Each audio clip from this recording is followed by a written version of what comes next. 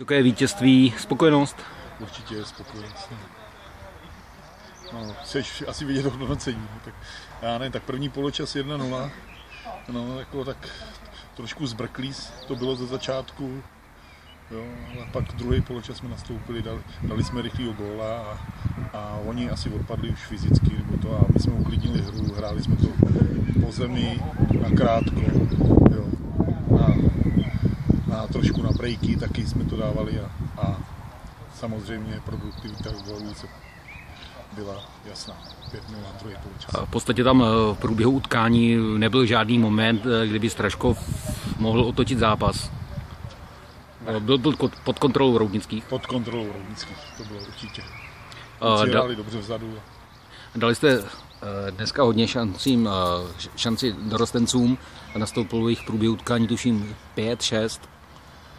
To je záměrem.